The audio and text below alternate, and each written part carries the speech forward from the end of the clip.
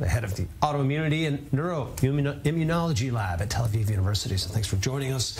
I try to just give a broad uh, brushstroke to the, the real uh, story here is, is uh, consequential as it is. So if you could describe to us a bit about what you accomplished or succeeded to do here that hadn't been done before.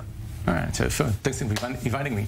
Uh, so basically what we try to do, I mean, uh, glioblastoma is a very deadly brain cancer. Among the brain cancers, it's one of the more, with one with the worst prognosis. Yeah.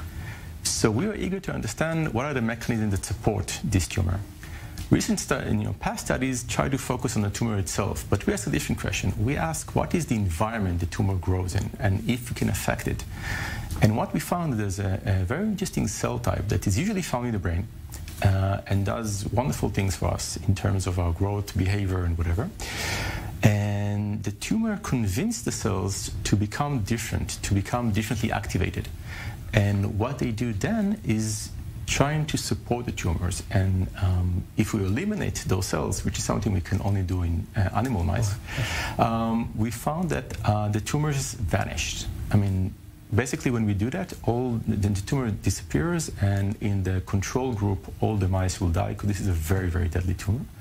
Uh, but within the treated group, uh, about one, as long as we kept the treatment ongoing, the mice survived. Okay. And even if you took it off, um, about 80% of the mice stayed alive for weeks after, meaning that we actually got a full remission, Relatively or almost full remission.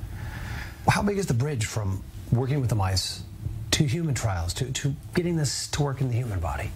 Yeah, so we can do that on, on people, of course. So what we try to do next is to understand the mechanism, because we can target a cell type, but we can target specific pathways or proteins that the cell type express.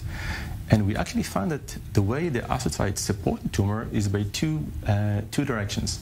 One, they convince the immune system to stop to attack the tumor and start supporting it, like kind of just shift sides.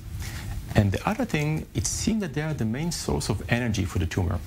And if you think about the tumors, the tumor cells have to, have to divide really, really fast. They have to proliferate. The tumor needs to grow. Once you take the, the, the power source out of the system, then basically you starve the tumor and it dies. And we were able to find the direct proteins and pathway that this thing actually works.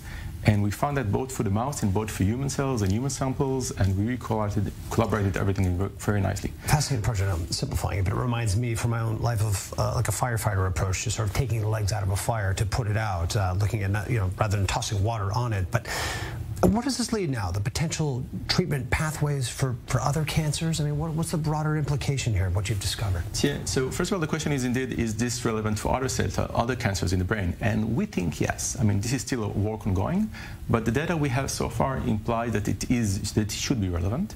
The other pathways we are taking is, so how can we treat this cancer? What can we do?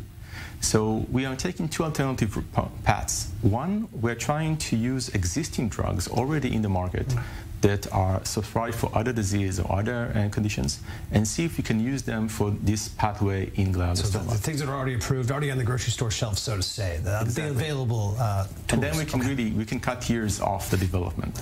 Uh, and this is really uh, accepted by the FDA, and it's really you can do it really, really fast. Um, and the second thing we're trying to do is actually to develop new drugs, a new pathway, a new means to attack this pathway, so we can really get a better uh, um, better treatment for those patients. Are you getting a lot of international traction? I mean, attention, uh, funding. What is you know? How have your initial success? Is it is it uh, really taking you to the direction you hope to go, or you're planning to go? I mean, tell us what what are the next steps for you now? Yeah, so exactly. The, the, next steps are we need to get enough funding to kind of support these programs. Yeah. But um, we are really now focusing on the repurposing of existing drugs and really focusing on trying to find new mechanism. So this part with the energy is one mechanism, but we actually have indications that other mechanisms are supporting it also.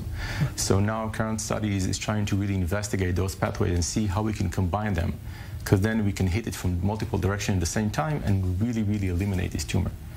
Um, For the good of all humankind here. I hope you continue with your success in this here. It's exciting breakthroughs so far. I know it's just really starting to get uh, truly noticed and recognized. Appreciate you for joining us on the sure. program too, Dr. Uh, Lior Mayo, coming just from Tel Aviv University. So thank you and really good luck. Thank Keep you very going. much, David. Godspeed. Yes.